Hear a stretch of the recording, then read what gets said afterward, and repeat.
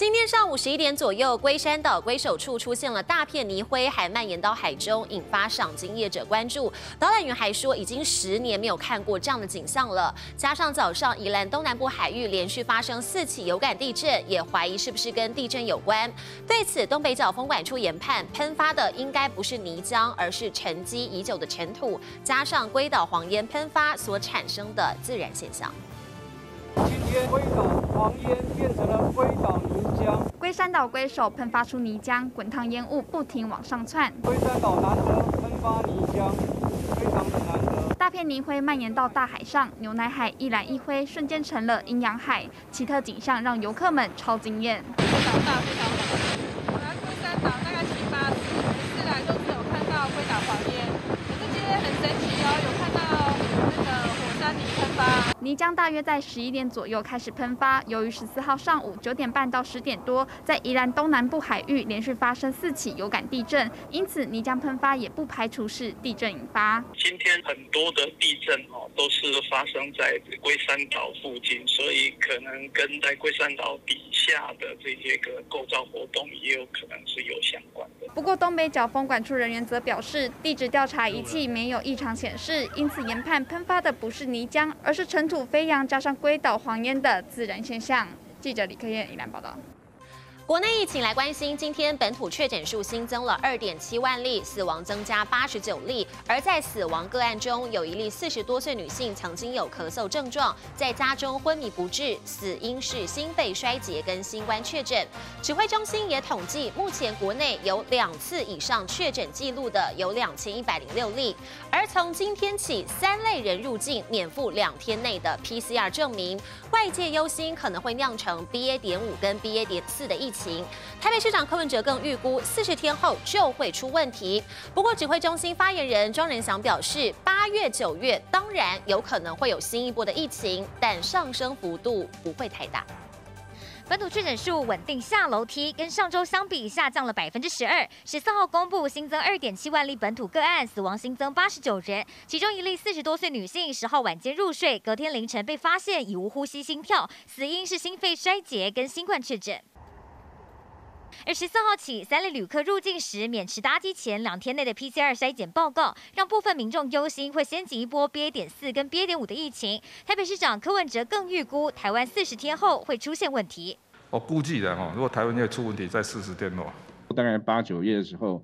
可能就是这个 BA. 点四跟 BA. 点五会有可能有一小波哦，所以当然是有这个可能，上升的幅度也不会太大。因此，入境检疫的天数何时能进一步缩短成零加七，指挥中心还要再观察。而统计目前有两次以上确诊记录的有两千一百零六例，还没发现两次都感染 BA. 点五的案例。医师谢宗学在脸书分享，最近确诊来诊人次有减少，但病情复杂度增加，感染后并发症跟再次感染的人数似乎逐渐上升，未来可能还有数波小流行，但。回到五六月高峰的几率很低。说目前两千多例其实也还好嘛，对不对？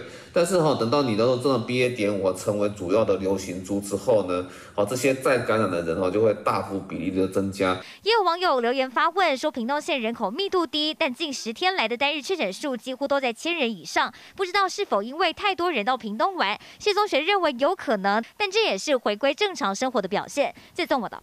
国旅补助十五号上路，如果民众选择自由行，住宿每房每晚可以补助一千三百元，但搭配饭店业者推出的优惠，就可以让一千三百元的价值再放大。像是金华酒店住一晚搭配一千三百元补助，甚至会再送你免费再住一晚。如果换成住台中港酒店套房的方案，还会送一博一食、舒压按摩以及观光工厂的体验券，现翻超过十倍价值。但是有旅游玩家建议，也要注。注意，这当中赠送的门票或者是体验券可能会有使用期限。暑假期间，如果在国内自由行，十五号开始可以补助一千三百元。现在旅游玩家教你怎么把一千三百元的价值再放大。在比较市区的饭店，它本来就是没有吃到什么太多的这种国旅的红利，所以它就它就会相较之下，它的平日的优惠的促销力道就来的比较大一点。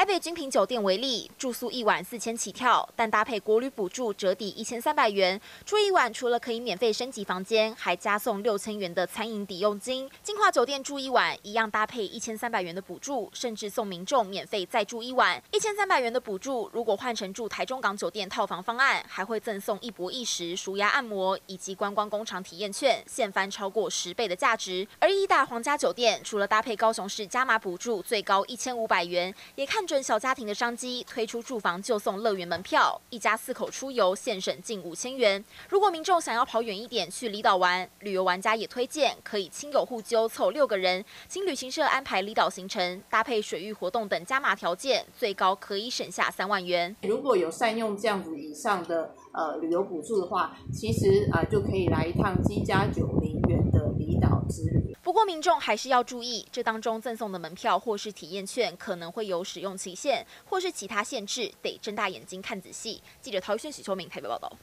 有民众到美式卖场买烤鸡翅，吃到最后才发现鸡翅上插着一根羽毛。这张照片发文分享之后，引起了许多网友回应，直说这下子验证真的是鸡肉。还有人说可以收集起来制作羽绒衣。而美式卖场回应已经向鸡翅的供应商反映，目前是单一事件。毒物科医师则建议，如果民众碰到了这样的情况，最好不要吃，以免吃下肚造成急性肠胃炎。不少人到美食卖场会买烤鸡翅，不过有民众上网发文分享，他买了烤鸡翅回家，吃到最后发现买鸡翅竟然送羽毛。吃的东西要小心一点吧，一定要处理的、啊。对啊，反映到上面去，让他们高层来看他们品管到底怎么哪里哪个环节出了问题。这个太严重了吧？对啊，如果你吃到一半发现这种东西，你应该觉得很可怕吧？应该一定会直接把东西带回店里。仔细看照片中的烤鸡翅，插着一根羽毛，白色的羽毛还被刷了烤酱，变成咖啡色，这引来网友热议。有人说可以收集起来制作羽绒衣，还开玩笑说这下验证真的是鸡肉。更有人表示自己前几天买也碰到一样的状况，送一根羽毛。对此，卖场回应已经向鸡翅供应商反映，这是单一案件。而毒物科医师建议，如果民众碰到这种状况，最好不要再吃。羽毛的话，我们都知道，因为，它其实很容易污染到一些微生物。那常见微生物包括什么大肠杆菌，担心说，诶，我们万一吃下肚，可能会有食物中毒的风险。像食物中毒，一般上是会造成急性肠胃炎。症状包括恶心、呕吐、肚子痛。不止烤鸡翅出现羽毛，还有民众买了椰子西瓜汁，喝到第三瓶才发现有一瓶瓶口疑似没封好，里面有沉淀物，倒出来还有白烟。食品的卫生和安全也让民众捏了一把冷汗。记者这么道。